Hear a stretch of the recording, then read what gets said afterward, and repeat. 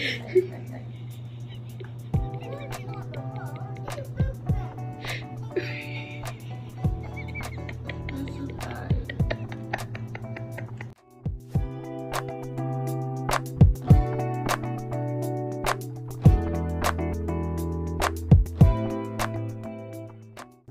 at welcome back sa aking channel. Colleen Garcia nakatulog habang binabantayan ng anak na si Amory Crawford.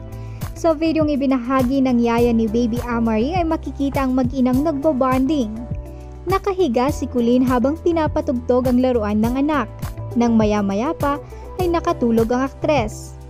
Natawa na lamang si Yaya habang binivideohan si Colleen at ang nakakatuwang reaction ni baby Amory.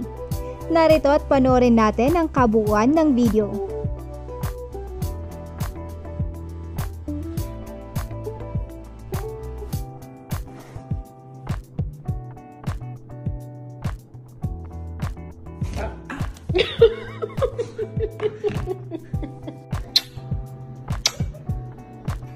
Bye.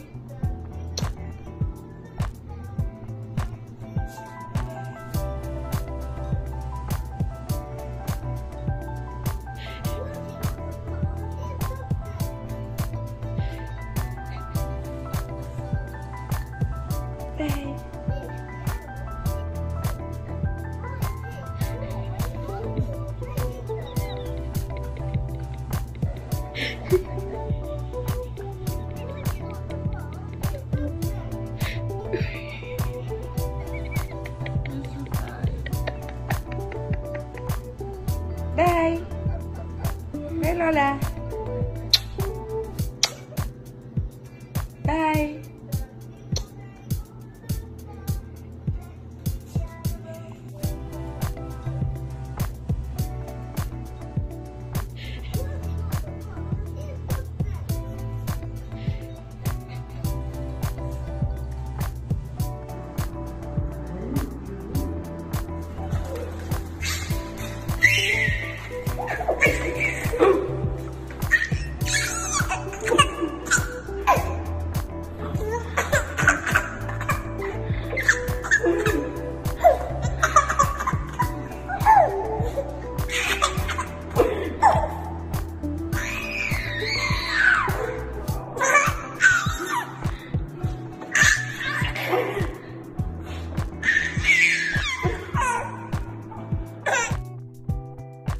Ayan na nga at hanggang dyan na lang tayo sa ngayon. Maraming salamat sa panonood at kung nagustuhan niyo ang video ito ay huwag kalimutang mag-like, comment, share at subscribe.